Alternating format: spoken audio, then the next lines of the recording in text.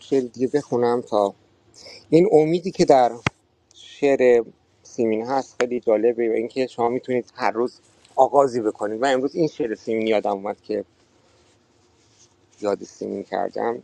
میگه حالی است حالم نگفتنی. امروز سیمین دیگرم. گویی که خورشید پیش از این هرگز نتابیده بر سرم. انگار با آسمان خیش یک عمر بیگانه بودم. ام امروز اما در این کبود هم بال و پر با کبوترم. انگار هرگز دریچه را بر باغ گل وا نکرده ام این تازگی این شکفتگی بیش است از حد باورم. مستم نه چیزی نخوردم اما دلم این سنوبری شاد است و سرشار زندگی چون میوه‌ای در سنوبرم زن بی امان چون گریز نیست در این خیالم که دست را فردا چو از گل نمی‌توان امروز از دل برآورم. نیلوفر چند ساعتم ای دوست دریاب فرصتم. فردای پژمردنم چه سود امروز اگر نیستی در برم؟ یک خوشه انگور روشنم. نوش است سر تا به پا تنم. خوش بر سرم گام می نهی. غافل که در کام خوشترم. ای چنگی دلنواز من در مایه راهی دگر بزن. راه وطن راه آمدن این است حرف آخرم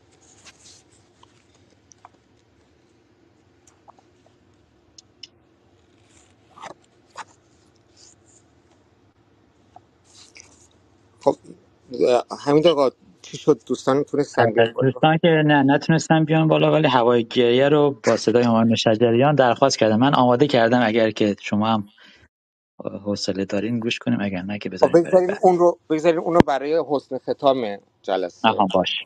باشه باشه نه دوستان متاسفانه نتونستم بیان بالا. عجب خیلی متاسفم چه خوب می‌شد که می اومدن دوستان. بگذارید ببینم من می‌تونم تلاش بکنم نه متاسفانه. کدوم یکی از دوستان؟ دستاشون الان بالای روی پروفایلشونه که آقای میرزا هستن که و آقای آرش. آقای آرش. من میگه که من براشون اینوایت فرستادم. باید قبول کنن و بیان اگر دریافت کردن. آره در- منم دعوتشون کرده بودم. دریافت کردن اینوایت رو. اگر نه که نکته هاش رو در چت بنویسن شما لطف کن بخون و به ما و دوستان دیگران بگو. اون غزلی که در حقیقت نام اون دفتر شعر اه، مهم به اه، اون نام هست این غزل خطیز سرعت و از آتش هست. اسم این غزل اینه و اون مقاله که از آقای حقشناس گفتم در حقیقت درباره این دفتر شعر بود و مخصوصا این این غزل. که این غزل مال خورداد شسته یعنی درست دوران اوج قتل عام و درگیری های خیابونی و اعدام و داستان یعنی خفقان شدید که از در حقیقت همین خورداد شست آغاز میشه و این شعر درباره اون فضا هست. این آیدی نوار چی هست؟ حبیب جان. اینو من آوردم برای پخش موسیقی همایون هر وقت آها آخرش. آها آها. پس این غزل تاریخش خورداد شست خطی ز سرعت و از آتش در آبگین سراب اشکن بانگ بنفش یکی تندر در خواب آبی ما بشکن. خوابی به نرمی ابریشم در کوه پایه آرامش. ای سیل ضربت سیلی شو بر چهر این خنکا بشکن. مرداب خفته ذهنم را پوشانده جلبک قفلت ها ای سنگ پاره آگاهی در قلب دایره ها بشکن. ای دل چه کوچک و مسکینی با این تپیدن خاموشت. طبل تلاطم دریا شو آرام عرش خدا بشکن. تندیس یخ شده ای ای جان بس کن تبلور و جاری شو. چون رود بر سر هر شیبی آزاد و شاد و رها بشکن. آواز گرم تحرک را اوجی بساز و به تحریری درجی. ز گوهر غلطان را در کوچه باغ صدا بشکن ای سینه! قوس حقارت را طاق بلند حقیقت کن اینجاست جای نماز ای دل محراب رنگ و ریا بشکن. من با دو آینه رویارو تکرار بیهوده خویشم. آغاز قصه به پایان بر بشکن مرا و مرا بشکن.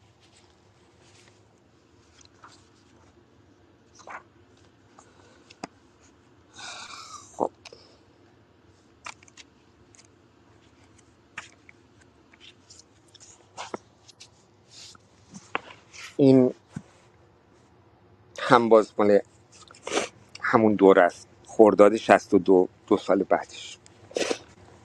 ببین چگونه میپوسد زمان زمان زندانی. توانیش به دست اکنون بسایی و بیفشان میان مجری آهن که زنگ قرنها دارد ببین چگونه میپوسد زمان زمان زندان. بساط خردریز آنجا ز یاد رفته بیهوده.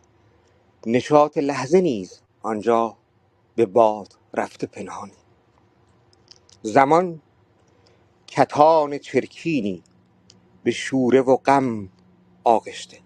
کدام رغبتم با او که بس کنم ز عریانی؟ به یار غار می‌گویم که با پشیز دقیانوس چگونه میپزی در سر هوای نان و بریانی زمان ستون سنگینی نهاده حمورابی به سر دویده ام سویش مرا شکسته پیشانی. زمان فشرده و تاری به کنج دخمه تاریخ که هیچ التفاتش نی به آفتاب نورانی. شکاف سقف را بنگر زحل قرین مریخ است. جز این دو حکم دگر کو فراز بام ویرانی؟ به دست جستجویی کن. به مغز نیز تدبیری که گم شد از نظر دیری زمان. زمان ظلمانی.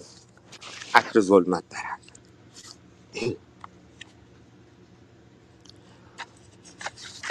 و باز این غزل مال یک سال بعد مهر 63 شب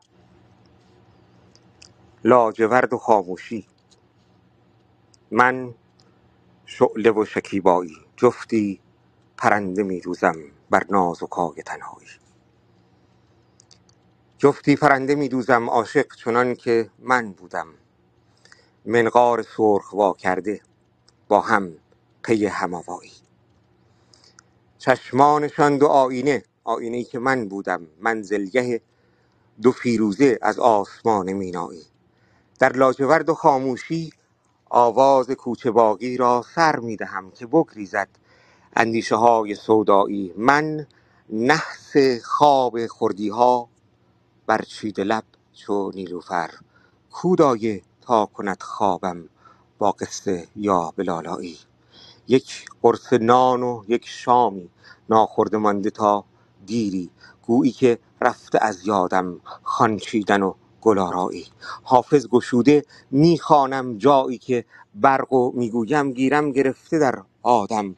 من فارغم ز گیرایی گیرم که و این اشاره است به اون غزل اون شعر حافظ که میگه جایی که برق عصیان بر آدم صفی زد ما را چگونه زیبد دعوی بیگناهی؟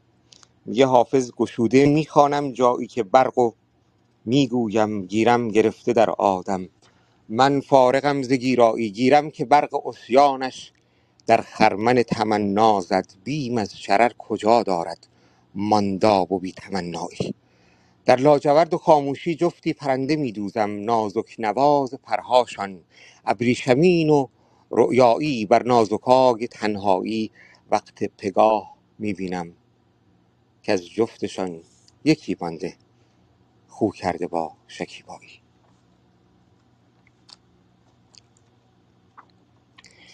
و یکم اینم مالی همون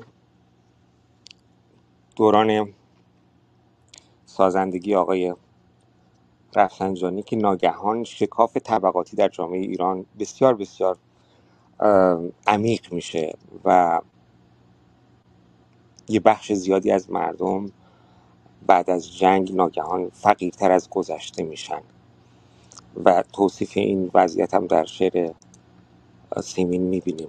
توصیف می‌کنه یه بچه ای رو که با مادرش داره تو خیابون می‌رسه می‌رسه به دکون اه، آجیل فروشی و یواشکی دست می‌کنه چند تا پسر رو برمیداره. یه کودک روانه از پی بود. نق نق کنان که من پسته. بچه به مادرش هی میگه من پسته می‌خوام و مادرش پول نداره براش بخره. کودک روانه از پی بود. نق نق کنان که من پسته. پول از کجا بیارم من؟ زن ناله کرد آهسته. کودک دوید در دکان. پایی فشرد و اری زد گوشش گرفت دکاندار. کو صاحبت زبان بسته.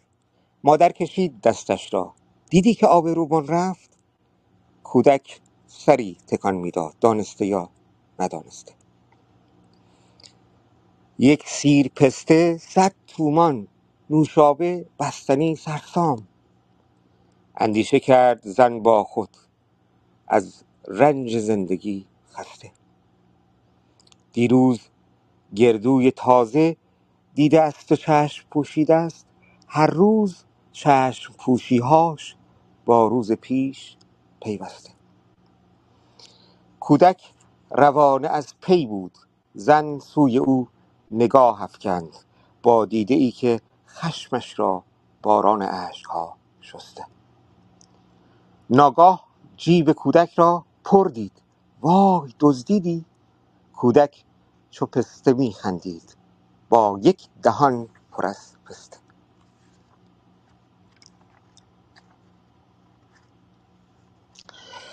این غزل مال وقتی است که قتلای زنجیره‌ای شروع شده بود و این غزل خاص رو سیمین در دریق بر شدن احمد میرعلایی گفت.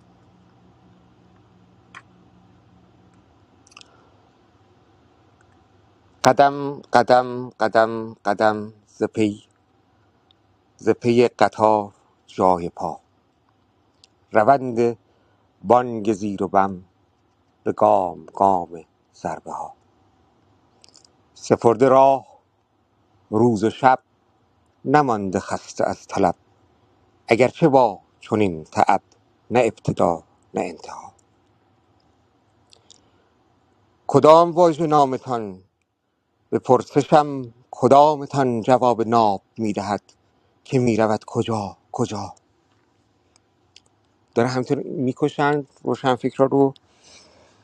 میگه من از کی بپرسم که شما کجا میرید؟ چرا کشته شد به انحنای گرده ها جوالی از سپرده ها به حیرتم که برده ها نمی سرد ز انحنا. چه تازه چه تازیانه راندتان که سرکشی نماندتان. روانه اید از ازل به جبر تا ابد شما. به کوه کوه موجتان به هر فرود و اوجتان یکیست صورت عیان. هزار گونه محتوا شدن شدن شدن شدن به گونه ها در آمدن. ولی چنان که چشم کس نپیورد به ماجرا. زهی دهان گشودگان بسی ز ما ربودگان. به سان صید غافلی به کام ژرف اژدها. این روشنفکرها کسانی بودن که از ما رو بودنشون دیگه. مثل یک اژدهایی که ناقافل صید می‌کنه زهی دهان گشودگان بسی ز ما ربودگان. به سان صید غافلی به کام ژرف اژدها قدم قدم قدم قدم به سوی منزل عدم. روانه اید و دم به دم شکارتان یکی ز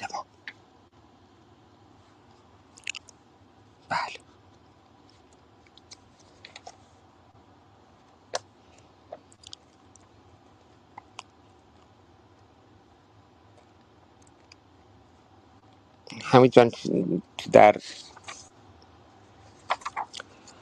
آقای نادر تونستم بیان بالا و اه، بله بفرمایید. نادر جان بفهم سلام عرض می‌کنم خدمت دوستان و علت خصوص جناب آقای خلجی و آقای حمید که مدیریت این گروه به عهده دارن. من اول یه چیزی رو اذعان بکنم. یه مطلب خیلی مهمی رو این که قدیم که ما می‌خواستیم مسابقه وزن بدیم. اونایی که گوشی بودن و متوجه می‌شدن اینا و ادبیات خونده بودن برای اینکه حال همدیگر رو بگیریم شعرهای سیمین بهبهانی رو میخوندیم چون وزنشون بسیار سخت بود و این واقعا ستودنیه که جناب خلجی جسارت کردند و این شهامت رو داشتن که از سیمین بهبهانی شعر بخونن. چون واقعا دشواره این حالت آقا آدم که نادون باشه از این جسارت زیاد می‌کنه. اختیار دارید نه اتفاقا لذتم بردم. البته من یه کامنت خیلی کوتاه هم واسه گذاشتم که در رمان نویسی همان قدری که خیلی خیلی زیبا می نویسید و خیلی خوبی کاش که در شعر خوندن هم همون جوری بودید. ولی در هر صورت چیزی از اه، شهامت شهامت شما این متاعم که همی بینی و کمتر زینم. اختیار دارید. در این مطاب برای ما خیلی ارزشمنده و من خیلی به شخص لذت بردم و موندم و گوش کردم و می‌خوام بگم که یعنی اینقدر ایشون جسارتی داشتن که ستودنیه و من یادم با بچه ادبیات دانشگاه علامه که من تو دانشگاه تهران درس میخوندم ولی رفتم اونجا که توی سعادت آباد بود اه، با اونا که می‌خواستم برای وزن شعر مسابقه بذاریم و اینها همیشه تو شعر سیمین بهبهانی هم دیگه رو گیر می‌دن. حالا اون موقع اونا نمی‌دونستم مثلا بعدا حالا متوجه شدن ولی واقعا اینجوری بود می‌خوام خیلی کار سختی رو آقای خلجی دارن می‌کنن و اگر بعدا کسی شعر خوندن ایشون رو گوش کرد یا الان داره گوش می‌کنه و می‌بینه اندک ایراداتی داره این ایراد ایرادای استادای ادبیات هم خواهد بود. همه ایراد دارن در خوندن شعرهای سیم بهبهانی مگه اینکه خودش فکر می‌کنم بخونه و بی ایراد باشه. چون الان دارم یه شعری براتون می‌خونم فقط برای اینکه همینجوری خونده باشم و مثل اون شلوار تا خورده رو که لطف کردن خوندن یه وزن بسیار پیچیده داره و خیلی سخته. و این شعری هم خب که بخونید. شما بخونید. سلوار تا خورده رو بخونید. بر... متاسفم حالا شلوار تا خوردم براتون می‌خونم ولی الان این چری که الان جلوم باز کردم بعد اونو باز می‌کنم. مصطف الان مصطف الان فا هست وزنش. و خیلی وزن سختیه شلوار تا خورده از اینم وزنش سختره. که این الان می‌خونم و بعد دستور شما هم حتما اجرا می‌کنم. در حجمی از بی انتظاری زنگ بلند و سکوت کوتاه سیمین توی آوای گرمش آمد به گوشم زان سوی راه. یک شیشه می پر نعشه و گرم غلغل کنان در سینه شارید. راه از میان انگار برخاست بوسیدمش گویی به ناگاه. آری منم خاموش ماندم خوبی خوشی قلبت چطور است؟ چیزی نگفتم راه دور است خوبم. خوشم الحمدلله کودک شدیم انگار هر دو. شش سال من کوچکتر از او بازان حیات و خوز و ماهی بازان قنات و وحشت و چاه. قایم نشو پیدات کردم. بی خود ندو میگیرمت ها افتادم و پایم خراشید. شد رنگ او از بیم چون کاه زخم مرا با مهربانی بوسید یعنی خوب شد خوب. بنشست و من با او نشستم بر پله نزدیک درگاه. آن دوستی نشکفته پژمرد وان میوه نار... وان میوه نارس وان میوه ببینید منم هنوز همین مشکل دارم. وان میوه نارس وان میوه نارس چی وان میوه نارس من دارم اشتباه می‌خونم. آن دوستی نشکفته پژمرد. وان میوه نارس من دارم اشتباه می‌کنم. برحال اینجوریه که وان میوه نارس چیده آمد وان میوه نارس من نمی‌تونم بخونمش. یعنی دارم وزن رو دارم اشتباه میگم. فقط می‌تونم که نم... می‌تونم بگم که نمی‌تونم بخونمش و ادامهش میگم. پس این مصرع رو من نتونستم بخونم. آن کودکی ها حیف و آن کودکی ها حیف و صد حیف وین سالی آه و صد آه. همچنان می‌بینید که در خون از نظر وزنی درسته ولی همچنان می‌بینید که من ادای کلمات منم اشتباهه. یعنی می‌خوام بگم که دارم در تایید دوباره خوندن آقای خلجی میگم که چقدر خوب با, با این که قد سخته و ایشون خودشون اذعان کردن که اهل چقدر سخت خوندن این. حرفی بزن. قطع است. نه نه. من رفته بودم سالها دور تا باغهای سبز پرگل تا سیبهای سرخ دلخواه. حالا بگو قلبت چطور است؟ قلبم نمی‌دانم ولی پام روزی خراشیده است و یادش یک عمر با من مانده همراه.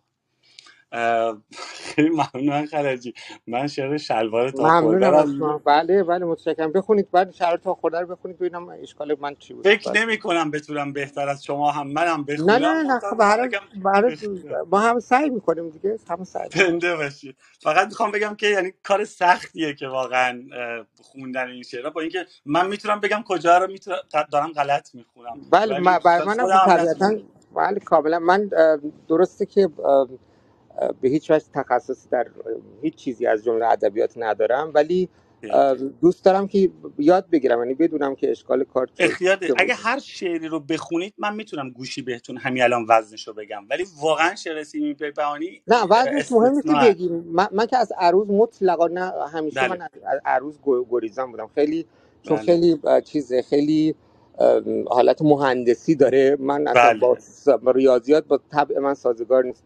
و بله. اصلا نمی‌فهمم اون نه خیلی البته برای بعضی گوشیه جناب آقای خلجی به خاطر بله مثلا ما دیگه ریاضی نمیبینیمش دیگه. مثلا بله. شما دقیقاً. یه سری از حافظ می‌خواید و ما همون لحظه مثلا میگیم خب بعضی چیزا بله. مثلا رمل مخ... مسمن مخون محذوف یا مثلا اینجوری.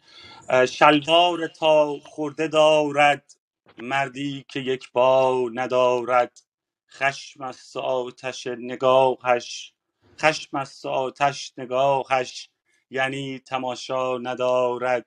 این خیلی سخته دیگه. می‌خوام بگم ایشون چقدر بازم خوب خوندن. رخسار میتابم از او اما به چشمم نشسته. بس نوجوان است و شاید از بیست بالا ندارد. بادا که چون من مبادا چل سال رنجش پس از این. خود گرچه رنج است خود گرچه رنج است بودن. بادا مبادا ندارد. با پای چالاک پیما دیدی چه دشوار رفتم. مطمئن نیستم اینو درست خوندم یا تا چون رود او تا چون رود تا چون رود او که پای چالاک پیما ندارد. انقدر دشواره که بر منم خیلی سخت خوندنش رو میگم سیمی بهانی نقطه ضعف همه شاعرها و همه اونه که شعر می‌دونن. تق کنان چوب دستش روی زمین چوب دستش روی زمین می نهد مهر. با آنکه ثبت حضورش حاجت به امضا ندارد. لبخند مهرم به چشمش خاری شد و دشنه ایش شد. این خوی این خویگر با درشتی نرمی تمن با درشتی نرمی تمنا ندارد. بازم ایراد از منه. ببخشید که بد می‌خونم.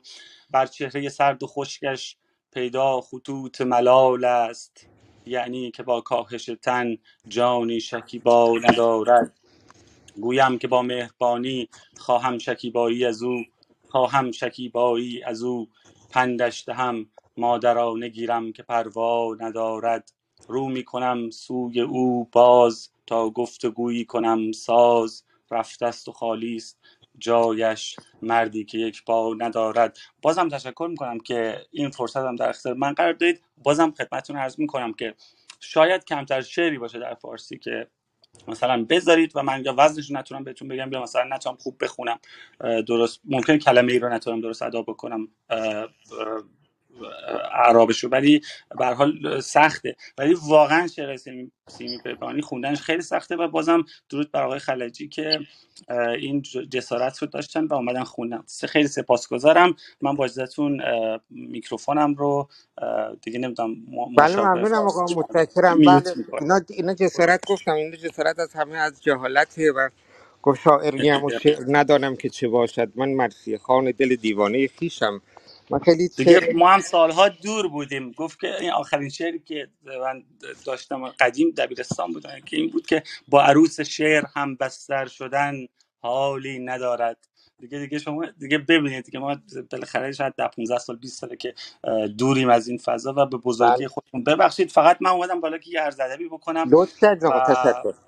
بگم که خیلی ممنونم. درود بر شما و جسارتتون و خیلی ممنون. که برامون خوندید به زیبایی و بر... قربان شما. متشکرم. و تاریخش رو گفتید برامون. خیلی تاریخ شعر خیلی لذت بخش بود که بدونیم مثلا این مال چه دوره ای بوده؟ این مثلا دوره آقای آشینی بوده؟ دوره آقای مثلا فلان کسایی بوده؟ این مثلا ما در این دوره زندانیای زیادی داشتیم کسایی داشتیم که کشته شدن. خیلی زیبا بود از این نظر. تاریخ شعر گفتن.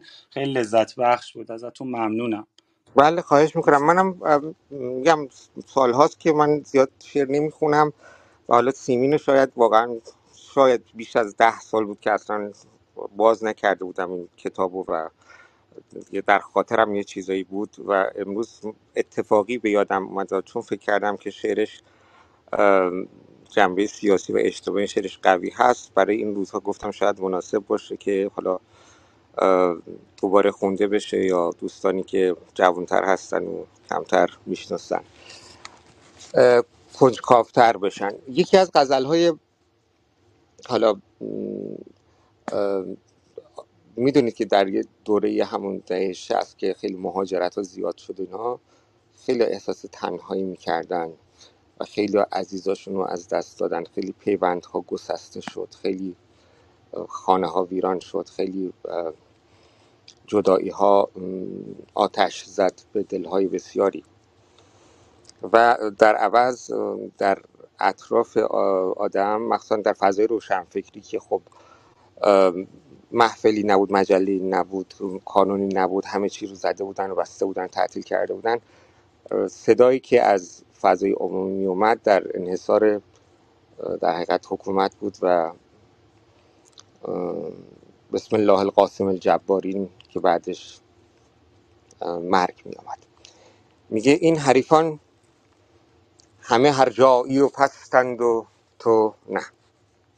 کم ز پتیاره و پتیاره پرستند و تو نه. این گدایان به تمنای جوی سیم تنم چون چنار از سر خواهش همه دستند و تو نه از تنم فرش هوس بافته خواهند و, و به عهد رشته صد مرحله بستند و گسستند و تو نه چون سپیدار زراویخته این بی سمران خیشتن را سمر آریه بستند و تو نه جرعه نوشان قلندروش سرگردانند. یک شب از صد خم و صد خمکده مستند و تو نه. دامن هر که گذشت از برشان بگرفتند. گل خارند و به هر دشت نشستند و تو نه. ماه افتاده در آبند و سراپا به دروغ روغن ماه افتاد. یکی از زیباترین ابیات سیمین هست. ماه افتاده در آبند و سراپا به دروغ رونق خیش به یک موج شکستند و تو نه. لیک با این همه صد حیف که در بیماری گرد بالین من اینان همه هستند و تو نه. این غزلی که می‌خوام براتون بخونم مربوط به روزی است که هویزه آزاد میشه. اردیبهشت سال 61 حمید آزاد شد. هویزه آزاد شد. نوشته ها جان گرفت. خطوط فریاد شد. خطوط در چشم من چون موج لغزنده بود. هویزه آزاد شد. حمید آزاد شد. جوانی آنجا رسید. نهال دیروز ما که صرف شد. قد کشید. که شاخ شمشاد شد. خطوط لغزنده بود. جوان چو آهن چو کوه گذشت. مریخوار خطوط پولاد شد. خطوط پولاد بود که هجله در چشم من شکفت با رنگ و نور. خطوط از یاد شد. در من نمی‌دونم الان چجوریه ولی قدیم وقتی که مخصوصا یه جوان ناکامی جوانی از دنیا می‌رفت و بعد جنگ که شروع شد شهیدا رو می آوردن در خونه اون شهید یا سر کوچهشون یه هجله درست می‌کردن. من نمی‌دونم الان هست همچین چیزی یا نه یا بچههایی که جوانترن می‌دونن که راجع به چی داریم صحبت می‌کنیم یا نه. در حقیقت چون جوون بودن اینا یک چی میگن؟ نمی‌دونم اگه دوستان کسی هست می‌تونه بهتر تو توصیف کنه. یه, یه چیزی که در حقیقت چی میگن؟ از آینه و نور و اینا میساختن و نشان دهنده این که خب این جوان ناکام بوده. یعنی میبایست این جوان الان می‌رفته ازدواج می‌کرده و به هجله می‌رفته. الان این هجله در حقیقت به بنای سوگ او بدل شده. میگه خط- خطوط پولاد بود که هجله در چشم من شکفت با رنگ و نور. خطوط از یاد شد خطوط از یاد شد که باقی از خون دمید سنوبر و یاس او عروس و داماد شد. عروس و داماد بود که باد توفید سخت درخت از پا فتاد. شکوفه بر باد شد هزار سیلاب خون چرود کارون گذشت. مگو چه هنگامی بود؟ بگو چه بیداد شد؟ چه کردم؟ آه آه که شرم بادم که شرم بادم ز خویش. به یاوه بهمن گذشت به خیره مرداد شد. چه کردم بیش از این که گاه فتح و شکست؟ از این تنم خسته ماند وزان دلم شاد شد. به کاهلی روز من گذشت آنسان که تن چو پیر پوک کهن چو طفل نوزاد شد ز جوشش خون. چه سود؟ نه چشمه نه صید بود. نه خانه ویران از او نه دشت آباد شد وطن چه سرها به خاک فتاد تا کار تو ز سر به سامان رسید ز نو به بنیاد شد. خطوط با سایه ها نشست در اشک من حمید. آزاد شد هویزه آزاد ام، و در همون دوران خفقان و در حقیقت سانسور هست که خیلی از این شعرها شاید امکان حتی انتشارش هم همون زمان نبود. اسم این غزل هست باید چیزی نوشت. باید چیزی نوشت. باید. اما کجا؟ لوحی یا دفتری دیگر بابا کجا؟ واقعا امکان نداشت بنویسیم الان ما در خارج از کشورم هم همینطوریم دیگه. یکی از چیزهایی که خیلی من رو نسبت به نوشتن خیلی انگیزه می‌گیره. هم که آدم نمی‌دونه کجا منتشر بکنه. کجا باید بنویسیم. ما ما چجوری یعنی نه مجله نه رسانه این این سانسور آدم رو باز میداره از فکر نوشتن. باید چیزی نوشت. باید اما کجا؟ لوحی یا دفتری دیگر با ما کجا؟ باید شعری سرود. باید. اما بگو گوشی تا بشنود شعری شیوا کجا؟ باید افسانه گفت از دیگر رستمی. اینجا گر رستمی رخشی اما کجا؟ باید یک سر دوید گر پا یاری کند.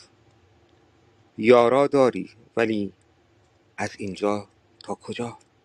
باید چیزی نوشت اما کو خامه ای؟ بشکستند آنچه بود. چوبی حتی کجا؟ باید باید بلی خون و مرگ و شرف چونان آنان. ولی در من یارا کجا؟ گیرم که از نیشکر باید نومید شد. حنزل یا شوکران در این صحرا کجا؟ با افلاتون بگوی طرحی دگر کند. هرگز معمار اوست. باری. آن ناکجا. و باز این هم یک غزلی است که دوران سیاه دهه 60 مال اردیبهشت 61 بعد از باز یک موجی از اعدام ها دوباره باید ساخت. شما که ما رفتیم. اگرچه ننشستیم ز پای تا رفتیم. جوان ترین ها داد سرایتون آباد. خداش حامی باد که از این سرا رفتیم. مسیح فردایید که زنده می سازید کلیم دیروزیم که با عصا رفتیم. خلوص و ایمان بود. خدای می‌داند ثواب اگر کردیم وگر خطا رفتیم. به دست ها زنجیر به چشم ها دستار. بگو کجا بردند. مگو کجا رفتیم. دستگیر که می‌کردن چشما رو میبستن. به دست ها زنجیر به چشم ها دستار. بگو کجا بردند مگو کجا رفتیم. رفیق معذوریم. رفیق معذوریم اگر چه واماندیم به نیمه راهی که با شما رفتیم. چو پله افتادیم چو قله برخیزید که پیش از این ما نیز به قله ها رفتیم. تلاش را عمری چو موج کوشیدیم گهی فرو خفتیم گهی فرا رفتیم. زنای حق جویان چو بانگ حق برخاست. صلا درافکندیم بدان صدا رفتیم. رسالتی خونین اگر نیارستیم کشیده فریادی چنین رسا رفتیم.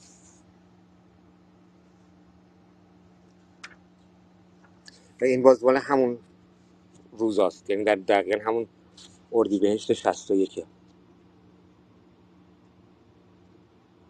کدام ابر زهراگین دوباره چتر خود وا کرد؟ سکوت خانه سربی شد دلم هوای صحرا کرد. ز تاب زخم چرکینی به سینه دل ورم می کرد که غم به نیشتر آمد چکاد این دو مل وا کرد. جنون چو برق شد آری شکست رعد و رگباری به بام جان بیماری گرفت ضرب و غوغا کرد. ز لطمه های بیخوابی دو مردمک عقیقی شد ز قطره های سیمابی دو ناودان به سیما کرد. درید پرده ایمان شکست حرمت پیران که دهر تهمت طغیان نصیب اهل تقوا کرد. چو از درون تهی گردد بگو که بشکند افرا که پیر پارسا خود را چنین شکست و رسوا کرد. در حقیقت روحانیت رو میگه. پری نمانده بود او را که جز به شعله ای ارزد مباد روشنی با او که از چرا پروا کرد. نگفت نه نگفت آری. در آن ظهور مرداری میان شاید و باری به زیرکی مدارا کرد. به جستجوی دیواری که هست نام او هاشا ز پست نای این خاری نگه بدان بلندا کرد. سپاس جان آنان را که بودشان جسارت ها نگفت و این حقارت بین که پاس خود تمنا کرد. کجاست مردی و رادی قلندری و آزادی؟ زمین حسرتم یادی ز کیمیا و عنقا کرد. به بام خاطرم گویی غبار مرگ میبارد. کدام ابر زهراگین دوباره چتر خود وا کرد؟ بله. همین آقا چه کنیم؟ باز دوستان دوست دارن بخونیم یا اینکه جلسه رو. آره، آقای شهران یا من خانم ببخشید دیگه من نمی‌دونم اسم شهران. پرسیدن که به عنوان صاحب نظر در فلسفه و تاریخ و مسائل ایران بعضی گفتن که اشتغال خواص ایرانی در طول تاریخ به شعر و شعر سرایی در کنار همین اندازه علاقه و اشتغال به عرفان و تصوف یکی از دلایل کم رونق شدن و ضعف فلسفه و علوم عقلی و تفکر انتقادی بوده است. نظر شما چیست؟ بله این یک در حقیقت حرف غیر علمی غیر تاریخی و ولی یک کلیشه است که از زمان مشروطه شروع شد. یعنی زمان مشروطه وقتی که ما ناگهان با شوک مدرنیته مواجه شدیم باید یه دلیلی پیدا کردیم برای اینکه چرا ما مدرن نشدیم. یه سری حرفایی زدن این یکی از این حرفا بود و خب حرف بی‌معنایی است از نظر علمی. تا اینکه کار به جایی رسید که کسروی معتقد بود که شما اصلا کلا باید شعر رو بذارید کنار نه حتی شعر که رمان رو هم باید بگذارید کنار هنر هم باید بگذارید کنار نقاشی هم باید بگذارید کنار چون اینا تخیل هست و اینا هیچ کدوم به اصطلاح علمی نیست. و شروع کردن با آتیش زدن کتابا آقای کسروی مراسمی داشت مراسم کتاب سوزان که از سعدی و حافظ گرفته تا رمان ها رو جمع می‌کردن و میسوزوندن و جشن اقلانیت می‌گرفتن. این حرفها حرفای غیر علمیه که از آقاخان کرمانی گفته شده تا آقای آرامش دوستدار و دیگران چه ارزشی نداره مطلقا. حالا در یک زمان دیگه ای باید راجع صحبت خیلی ممنون. دوستان از حال و هوای اتاق تشکر کردن. اگر که شما حال دارین فکر کنم دوستان هم هنوز به حال بیان خلاصه. بسیار. این غزل رو خرداد 59 اه، سروده در فقدان سهراب سپهری.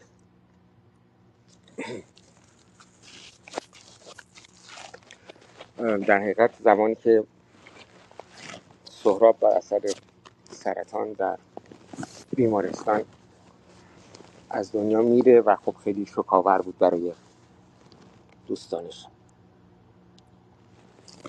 مرگت زوال شتاب است.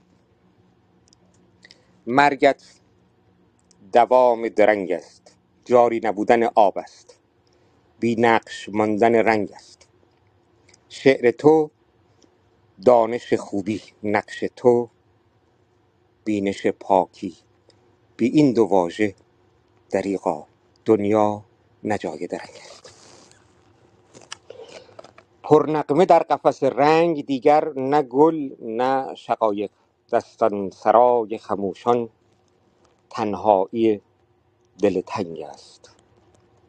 جستی نشان خدا را در بوته های گلفشان دیدم که حجم حقیقت در پوکه های فشنگ است. گفتی که گل نکنیمش نوشد کبوتر اگر آب. بگذار قصه که اینجا سیلاب خون و خدنگ است. گفتی که قبله نسیم است. شک داشت باورم آن روز اما یقین به دلم هست که امروز کعبه ز سنگ است. فوق العاده است دیگه. میگه گرایش عرفانی و دینی که سهراب داشت خب خیلی قوی بود. سیمین میگه که تو اون به گرایش عرفانی که داشتی من خب خیلی باش چیز ند همدلی نداشتم. ولی الان اگر از دین حرف می‌خوای حرف بزنی یقین داشته باش که این دل این دین امروز به یک اه، هیولای وحشتناکی بدل شده. میگه که گفتی که قبله نسیم است. شک داشت باورم آن روز. اما یقین به دلم هست که امروز کعبه ز سنگ است. فوق العاده است این بیت بازا که پشته ببینی از کشته های برادر و سینه ناله براری که از جنگ نفرت و ننگ است. اما تو غم نشناسی و از مرگ هم نهراسی. موجت به سخره نگیرد. دریا شراب نهنگ.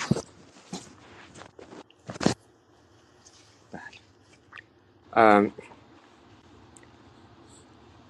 این هم مال در حقیقت جنگ دو سه ماهی بود که تازه شروع شده بود و اه، خرمشهر رو گرفته بودن و وحشتناک بود اون اوایل جنگ میزان کشته ها و ام، قضاوت و شقاوتی که صدام حسین مرتکب می‌شد با تجاوز به خاک ایران. این مال اون دور است. مال آذر 59 هست.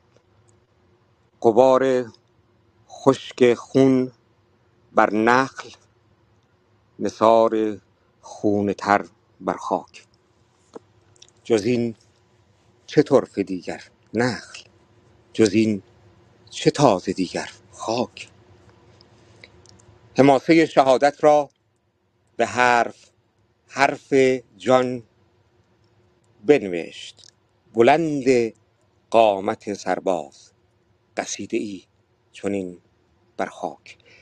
حماسه شهادت را به حرف حرف جان بنوشت. بلند قامت سرباز. قصیده ای چنین بر خاک. جهان شنیده است اینک که از خراب خونین شهر بلند واژه تر سر داد سرود تل تر خاک. روا مباد آبی خوش به کام آتش افروزان که رفته دوستی بر باد که خفته آشتی در خاک. ستاره های روشن را چنان شتاب کارون برد که نی از این غمین تر شب که نی از این سیه تر خاک. شراره های هستی را چنان به کین فرو کشتند که روی تل خاکستر کنون گرفته بستر خاک. شکوه مرگ را سیمین عظیمتر. شکوه مرگ را سیمین عظیمتر سرودی کن که تن بود سراپا دشت که جان بود سراسر خاک.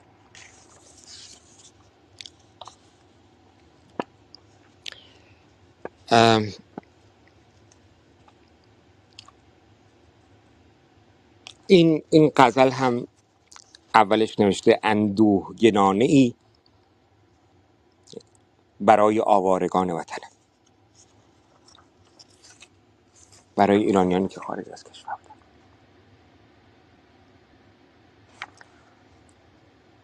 پای در چشمه بر تخت سنگی خستواری خلوتی بی تو دارد پر از تو بی تو آری. کفش فرسوده اش خنده در گوش ماجرایی رنج بیهوده اش بسته بر دوش کوله باری. دست بافی گره در گره تور موی بندش هر گره عقده حسرتی را یادگاری. خفته بر دوش و خاری گرفته گیسوان مانده در گوش و از یاد رفته گوشواری نان خشکش که نشکسته در آب پار سنگی اشک گرمش که نگسسته از چشم چشم ساری. هر زمان جامه اش را دریده شاخ خشکی هر کجا دامنش را کشیده نیش خاری. با نگاهش روان کاروانی پویه و صبر برده بار گران از دیاری تا دیاری. چشمهایش سفال شکسته تار و خسته هر یکی کاسه سرد و گرمی روزگاری. گونه ها میوه زبر کاجی فلس فلسی دستها پنجه خشک تاکی. پرشیاری. در بیابان که پیچیده گردی شوق چشمش مرکبی دیده آغشته خون بی سواری. تا کجا شب درآید کجا خواب؟ بی چراغ یا کجا انتها؟ یا کجا مرگ؟ بی مزار خب اگر اجازه بدید من دو تا غزل دیگه بخونم و این مجلس رو به پایان ببرم.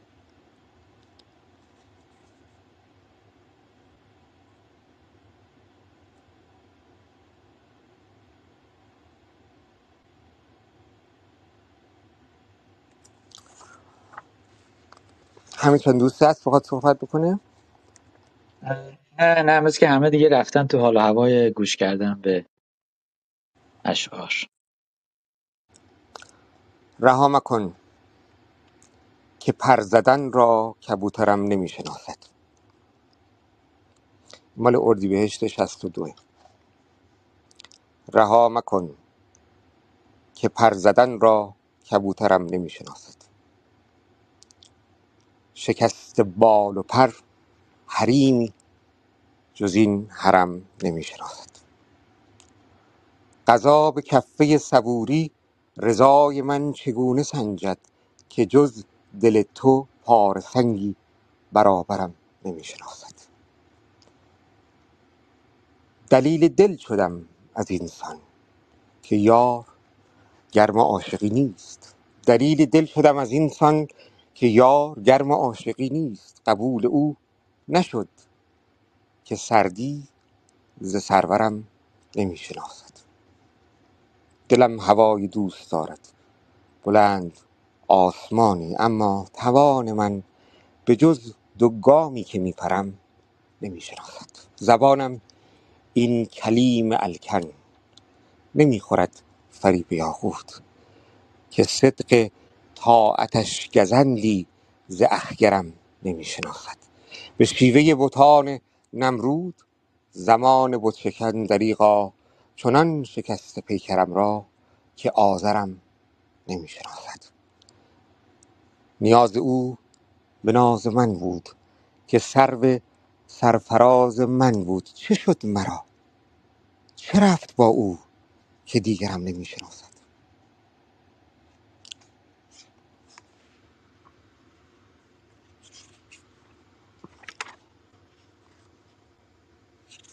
و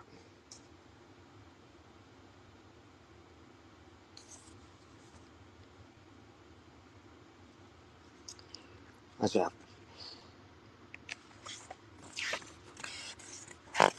این شعر هم حالا آذرش هست. بذارین این دو غزل رو بخونم اینا همون دورانه. این کجا سپید است؟ این کجا سپید است رفته خون زرکهاش رنگ شب پریده است گفته بودم آن شب که این شراب نور است.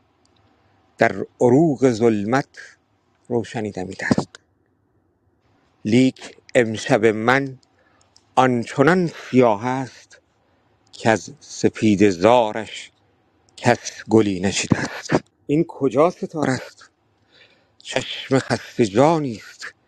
نشکنی سکوتش. تازه آرمیده است. این نه کهکشان است. کشته ای جوان است. سوی قبله او را مقبلی کشیده است. این نه لعل مریخ قطره ای ز خون است. که از گسست شریان بر فلک جهیده است. این نه رود کارون. اشک مادران است. بهر رود رفته روز و شب چکیده است. دشمنش خدا باد. و از خدا جدا باد. کینه در دل خلق هر که آفریده است.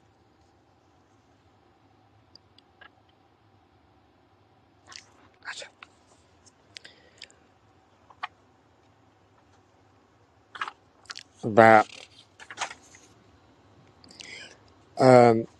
خیلی امیدوار بود که نسل بعد از خشونتی که انقلاب و جنگ به بار آورد بیاموزه و در حقیقت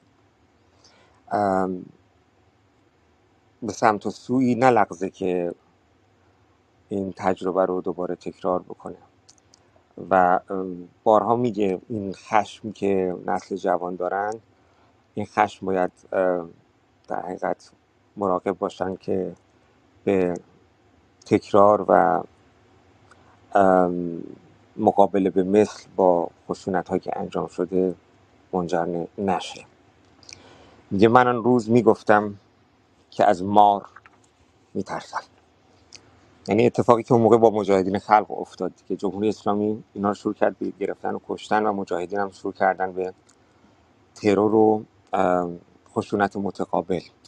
و در حقیقت این, این جواب این هست که اگر حکومت خشونت نمی‌کرد اونها هم خشونت نمی‌کردن و حالا که حکومت خشونت کرده باید مراقب بود که در دام و در خود در دام خشونت نیفتاد و چرخه خشونت رو تداوم نداد. من آن روز می‌گفتم که از مار میترسم و تأکید می‌کردم که بسیار میترسم.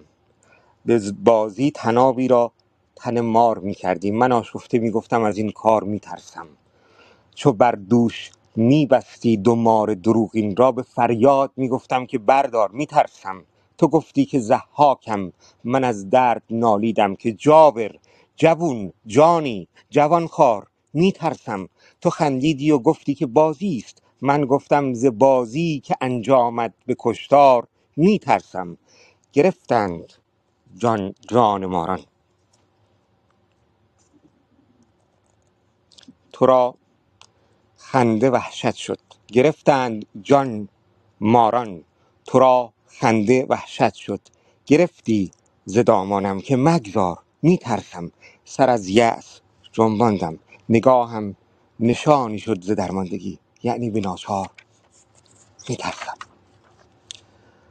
پی پاس خود زان پس یعنی تو خشونت ورزیدی. اونها در مقابلت خشونت ورزیدن حالا برای حفظ نظام و حفظ امنیت شروع کردی دور مردم رو کشتن پی پاس خود زان پس بسا مغز برکندی.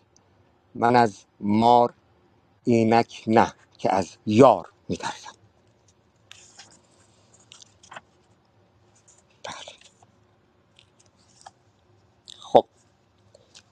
ام،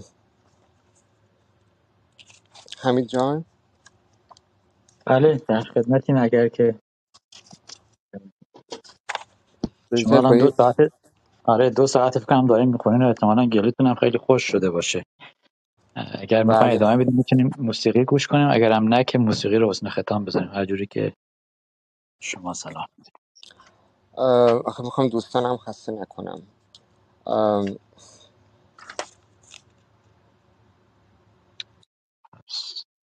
خب بذارید اینم بخونیم دیگه پایان این مجلس باشه. رویدم رویدم رویده ناگاه از ریشه عشق و جنون بر خاک و خون. آه. خود چیست جز بی حاصلی این رویش و برگ؟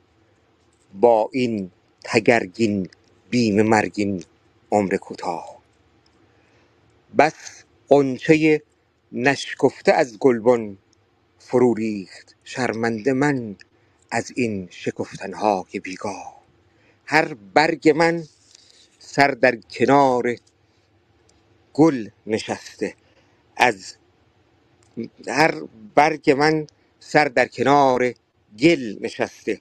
از دشنه گوید ماجراها با جگرگاه. گفتم برافروزم چراغ توبه از عشق. شاید که عقل آید دلیل جان گمراه. طوفان خموشش می کند فریاد فریاد. شیطان فریبم می دهد الله الله. جان است و عشقی بی امان. تا خود چه سازد؟ گیرایی گیرایی این شعله در این خرمن کاه. زد رنگ لعلی آتش تصویر عشقت بر لوحه سیمین شعرم خواه نخواه. بسیار خوب سپاسگزارم از دوستان که به من اجازه دادن که این وقت رو در خدمتشون باشم. امیدوارم که ملول نکرده باشم شما رو. و اگر یه موقع نکته داشتید راجع به حالا اونچه که من درباره سیمین گفتم و یا اگر خطایی در خوندن من بوده و هست من خیلی خوشحال میشم که اینا رو هم یا در چت بنویسید یا بر من پیام بذارید یا در یوتیوب که اینها رو می‌گذاریم اونجا پیام بدید که هم دیگران بدونن و هم من یاد بگیرم. از همه دوستان سپاسگزارم. همین آقا خیلی ممنونم. اگر دوستی سخنی نداره ما با دوستان وداع کنیم. بله خیلی ممنون از شما و خسته نباشید. فکر کنم خیلی دوستان لذت بردن از حال و هوای اشعار و من این هوای گریه رو بعد از خداحافظی شما پخش می‌کنم. مرسی. به پیشنهاد دوستان.